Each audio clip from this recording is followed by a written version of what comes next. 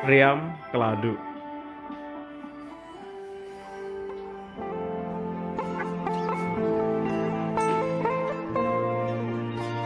Jadi apakah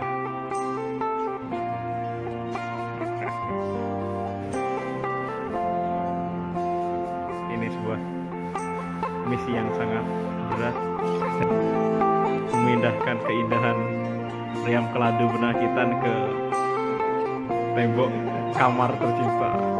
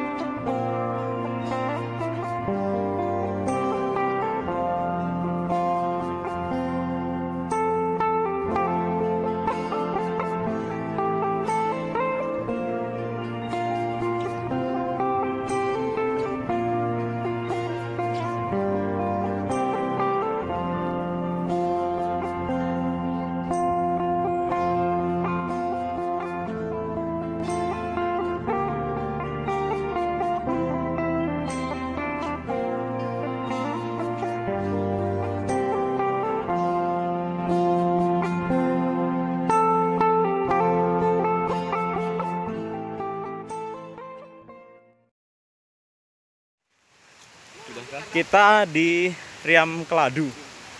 Ah, Riam Keladu.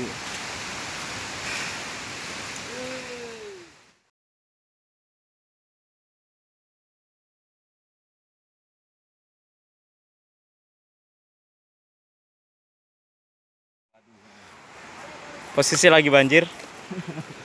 Jadi ini menikmati suasana liburan sambil uji nyali. Awas empangnya hanyut, Mas.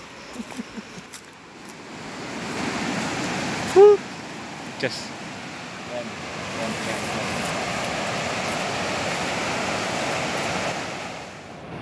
Oh ini adalah Riam Keladu. Walaupun sebenarnya ini posisi kita airnya agak dalam. Dalam, oke. Eh, seharusnya kita uh, bisa ke tengah, tetapi oleh dalam ya tidak memungkinkan. Tidak memungkinkan. Nah, ini adalah Riam Keladu dan ada masih ada kelihatan ada beberapa pulau. Salah satu Nggih. di tengahnya adalah Pulau Sengkumangan di mana uh, salah satu kepercayaan orang secara Benakitan Betul, uh, minta bantuan artinya bisa datang ke Pulau Keladu. betul. Dan Pulau Keladu ini adalah memang secara ada memang khusus arti yang uh, uh, dari tokoh adat tokoh-tokoh di dari desa yang mengkhususkan untuk uh, membawa kita ke situ untuk melaksanakan ritual adatnya. Oke. Ya secara sepintas itulah untuk Riam Keladu ini. Betul, betul. Dari sisi Ini ceritanya. tempat menyampaikan harapan, Ya. munajat, oke, betul. Eh, Iya ada syarat memang ada syarat-syarat artinya di situ secara adat artinya kan kayak bawa tuak, eh, ayam, kemudian ada bahasa di sini tuh eh, ranca, ya ranca, ranca kalau bahasa ini ranca. Ya tempat eh, sesajian. Nah, Oke, oke. ini oleh cuaca kita mungkin kita udah sore kan ada, ada kelihatan bukit penyawa di situ persisnya Sebelah- ya bukit penyawa. Betul. Nah, Bukit Mhm. Penyawa itu tempat artinya segala buah-buahan, durian itu orang kalau orang di kampung di desa tuh kalau musim buah di situ. Dan masih asli. Nah, itu memang uh, buah duriannya masih alami. Oke. Tetap diakui sampai sekarang tuh buah itu memang uh, secara adat. tuh. Tapi dari dia mulai istilahnya baru berbunga itu sudah diurus.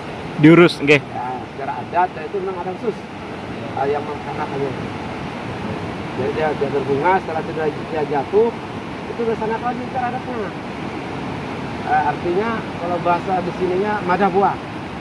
Artinya bahwa buah itu sudah jatuh dan bisa artinya diambil oleh orang banyak. Betul. di, di bapak tadi Madah buah.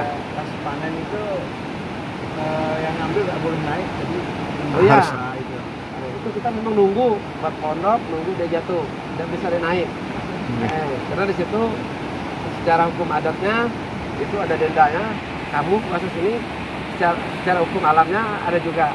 berarti yang di atas yang yang apa yang dibuat di atas itu hewan atau Tidak, dia memang jatuh. oh Dia jatuh kita ambil.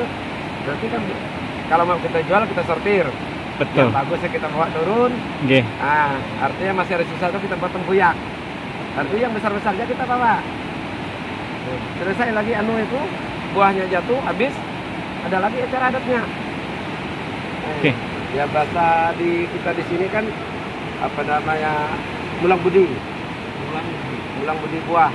Artinya eh, secara bahasa anu kan ah, ucap bersyukur. Ucapan syukur nggih. Nah, bersyukur bahwa kita sudah panen buah. Di situ ramai juga acaranya.